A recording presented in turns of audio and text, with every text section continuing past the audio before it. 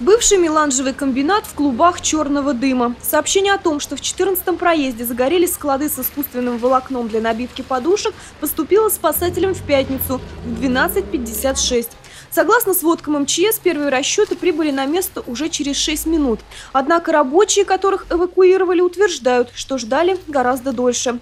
Борьба с огнем растянулась на часы. На глазах у людей старшего поколения сгорала история текстильного края, революционная постройка. Для местной детворы это не более чем увлекательный экшен. Мы когда прибежали, только там горела только вот, вот эта вот половина часть.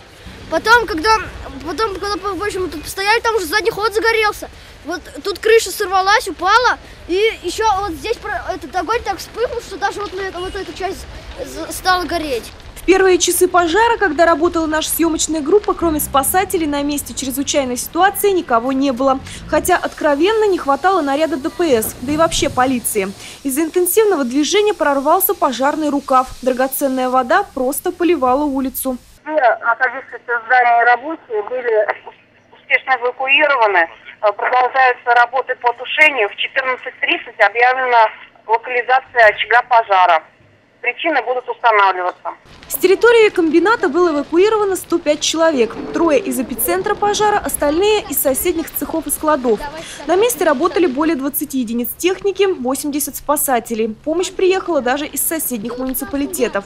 По первоначальным данным, площадь возгорания составила 500 квадратных метров. Полностью справиться с огненной стихией удалось только вечером. Елена Белова, Денис Денисов, РТВ Иванова.